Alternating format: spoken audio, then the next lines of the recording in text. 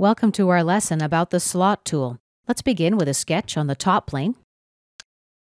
We've got four different methods for creating slots. They are straight, center point straight, three point, and center point arc.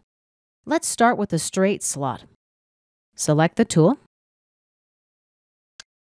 The Property Manager opens. The slot type we selected is shaded.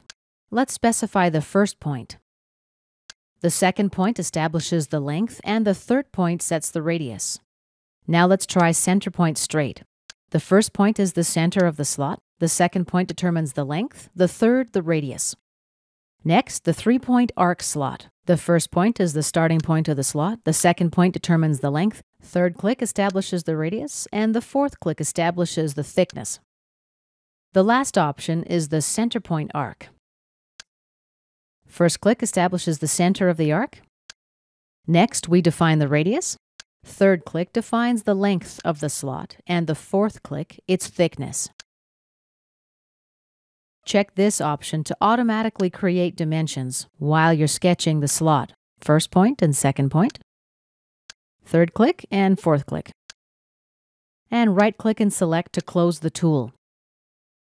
This concludes our lesson about the slot tool.